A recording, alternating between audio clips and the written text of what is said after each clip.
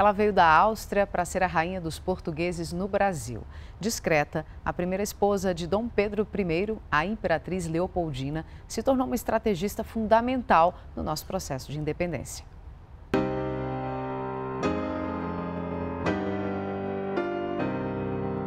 O que eu sei é que essa avenida é uma avenida principal aqui da Vila Leopoldina. Foi uma figura do Brasil Império, né?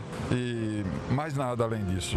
A Leopoldina que chega aqui no dia 6 de novembro de 1817 vai ser recebida efusivamente pelo sogro, o Dom João VI, que adora essa nora porque ela representa o que há de mais excelente em termos de sangue azul, de nobreza na Europa nesse momento. A Imperatriz Leopoldina foi a, é, era, era a mulher do, do Dom Pedro, né? Vai encontrar aqui um rapaz muito jovem, Dom Pedro é um ano mais jovem do que ela, filho das cavalariças, um rapaz é, que não dominava línguas estrangeiras, tinha pouquíssima leitura, era bom músico.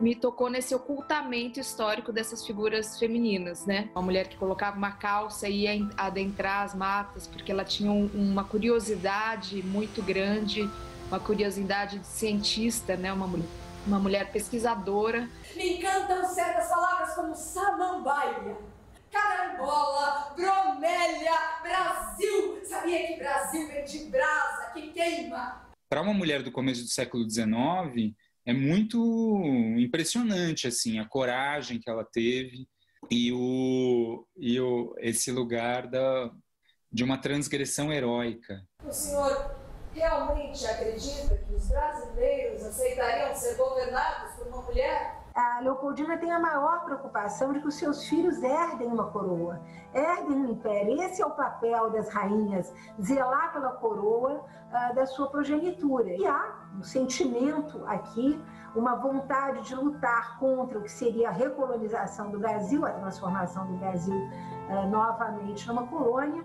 e ela então uh, vai participar desse momento. Pedro, o Brasil está como um vulcão. As cortes ordenam vossa partida imediatamente. Ameaçam-vos e humilham-vos.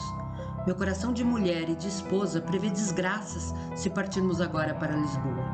O Brasil será, em vossas mãos, um grande país.